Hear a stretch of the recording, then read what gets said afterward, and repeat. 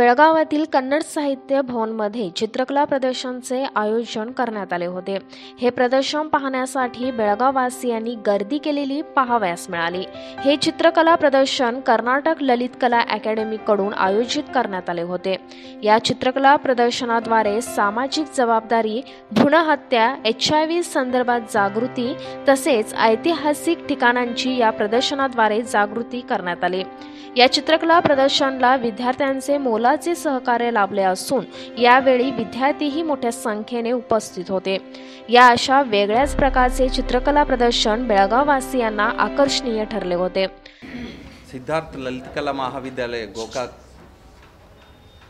ಈ ಶಾಲೆಯ ವಿದ್ಯಾರ್ಥಿಗಳು ಗುಂಪು ಪ್ರದರ್ಶನವನ್ನು ಬೆಳಗಾವಿ ನಗರದಲ್ಲಿ ಹಮ್ಮಿಕೊಂಡಿದ್ದಾರೆ ಹಂಪಿಯ ಗತಕಾಲದ ವೈಭವವನ್ನು ಯಥಾವತ್ತಾಗಿ ಹಿಡಿದು ಆ ಗತಕಾಲದ ವೈಭವದ ದೃಶ್ಯಗಳನ್ನು ನಮ್ಮೆಲ್ಲರದರಿಗೆ ಉಣಬಡಿಸಿ ಅತ್ಯಂತ ಆನಂದಮಯವಾದಂಥ ಭಾವಗಳನ್ನು ಮೂಡಿಸಿದಂಥ ಎಲ್ಲ ಚಿತ್ರಕಲಾ ವಿದ್ಯಾರ್ಥಿಗಳಿಗೆ ಹಾಗೂ ಶಿಬಿರದ ನಿರ್ದೇಶಕರು, ಪ್ರಾಚಾರ್ಯರಾದಂಥ ಕರ್ನಾಟಕದ ಲಲಿತಕಲಾ ಅಕಾಡೆಮಿಯ ಸದಸ್ಯರಾದಂಥ ಬಹುಮುಖ ಪ್ರತಿಭೆಯ ಜಯಾನಂದ್ ಮಾದರ್ ಅವರಿಗೂ ಮೊದಲು ತುಂಬು ಹೃದಯದ ಅಭಿನಂದನೆ ಹೇಳ್ತೇನೆ.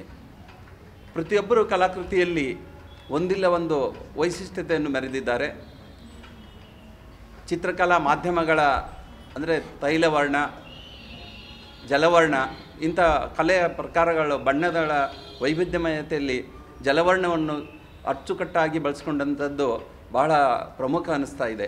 ಅವರು ಒಂದೊಂದು ಕಲಾಕೃತಿಯನ್ನು ನೋಡಿದಾಗ ಜಲವರ್ಣದ ಪಾರದರ್ಶಕತೆಯನ್ನು, ಅಂದರೆ ಆ ಸೂಕ್ಷ್ಮತೆಯನ್ನು ಅದ್ಭುತವಾಗಿ ಸೆರೆ ಹಿಡಿದಂಥ ವಿದ್ಯಾರ್ಥಿಗಳ ಕಲಾಕೃತಿಗಳು ನನಗೆ ಅಚ್ಚುಮೆಚ್ಚುಗೆ ಅನಿಸಿತಂತ ಹೇಳಬಹುದು हे चित्रकला प्रदर्शन आयोजित करण्याचा मुख्य उद्देश हाच की लोकांमध्ये सामाजिक जागृती करणे या प्रदर्शनामुळे लोकांच्या चेहऱ्यावर एक वेगळ्याच प्रकारचे कुतूहल निर्माण झालेले दिसून आले सोमोपा मलकनावर कॅनन सिटी न्यूज बेळगाव